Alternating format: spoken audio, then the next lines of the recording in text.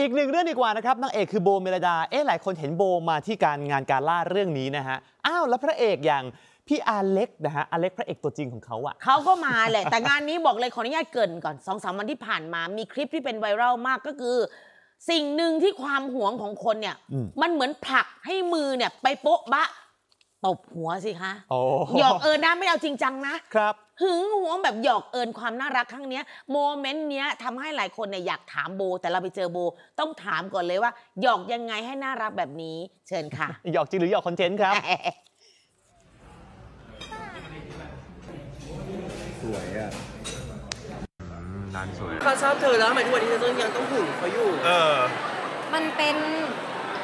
มันเห็นเหรอคอนเทนต์เรา ไม่ใช่คนที่หึง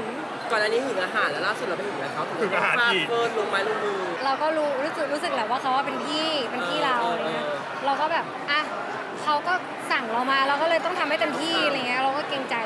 สองเทคค่ะ เทคแรกอะเขาบอกว่าตีเบาๆอ๋อเขาบอกให้ตีเหมือนแบบตีหัวเลยอะตบหัวแล้วก็แบบเหมือนเจิร์กอะไรเงี้ย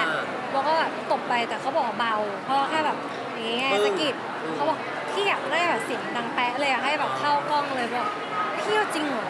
มีดราม่าแบบคนไม่พอใจที่แบบทำอะไรเงี้ยเออว่าแบบเหมือนไม่รู้กาลเทศะอะไรเงี้ย แต่ก็มานั่งคิดว่าคนเป็นแฟนกันมันต้องมีคำว่ากาลเทศะอยู่เออใช่ไหม มันก็มีประมาณนึงแต่ถ้าเขาสั่งเราอะถ้าเราไม่ทำถ้าเราไม่ทำเขาก็งอนเรานะ เออว่ามันไม่ได้แค่คอนเทนต์คอนเทนต์เล่นๆใชกั่นจริงๆอะถ้าเป็น ไปได้อยากให้พี่เล็กตัดคลิปเบื้องหลังด้วยเขาหัวเราะสะใจ อ๋อ